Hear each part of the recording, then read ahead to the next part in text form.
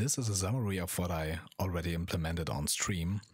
And the goal here is to edit items on an index page in place.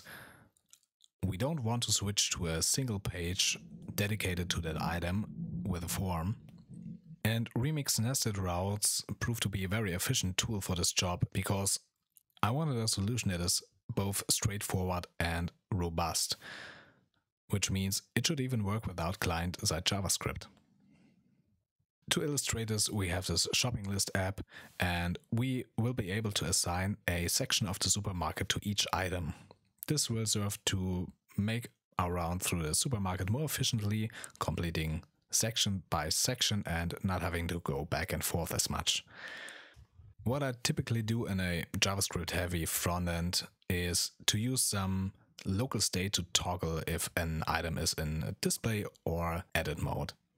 But there are two problems. The first is if client-side JavaScript is not available for whatever reason, maybe it didn't load on a slow connection, then the user would have no access to this form.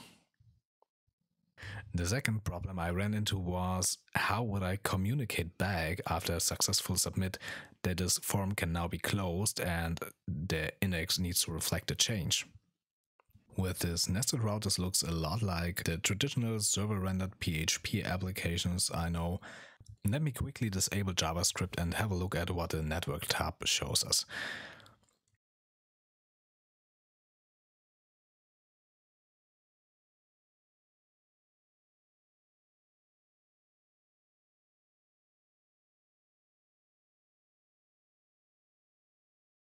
We make a GET request to the index page. And if I click this button, you can see a GET request to the nested route with the item ID. We'll have a POST request that submits to the nested route and then redirects back to the index page. And here's how it works. Since the URL reflects the UI state, that is, which item is in edit mode, by including the ID, we can get this form for that specific item already within the server rendered HTML. Nested routes work like nested layouts.